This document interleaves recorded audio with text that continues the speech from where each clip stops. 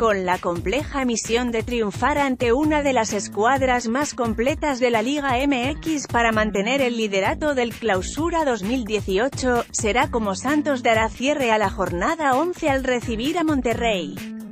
Pese a estar consciente de las fortalezas de su equipo, Robert Dante Siboldi, estratega del cuadro lagunero, tiene claro el poderío de Rayados por lo que prevé un encuentro trabado y, muy disputado.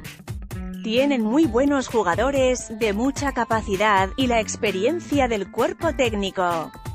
Va a ser un partido muy difícil, muy trabado, muy disputado y hay que aprovechar las oportunidades que tengamos. La idea es poder seguir manteniendo esa hegemonía de local, ante el apoyo de nuestro público, poder regalarle un buen partido, que disfruten, que sea bien jugado y que merezcamos ganar con base en lo que podamos hacer, reveló el técnico albiverde, quien sabe de la rivalidad que se ha generado entre ambas escuadras en los últimos tiempos, se ha generado una rivalidad muy interesante por parte de Santos y Monterrey, también Tigres y Santos.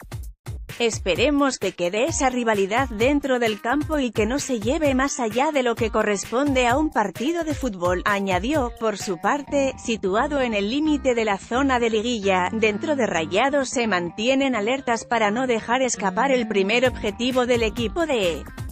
clasificar a la fiesta grande, tal como lo dejó ver el director deportivo Duilio Davino previo al encuentro. Lo que primero tenemos que hacer es dejar de pensar en el torneo anterior, somos otro equipo, es otro torneo y tenemos que trabajar de manera diferente para poder llegar a los objetivos, aseveró.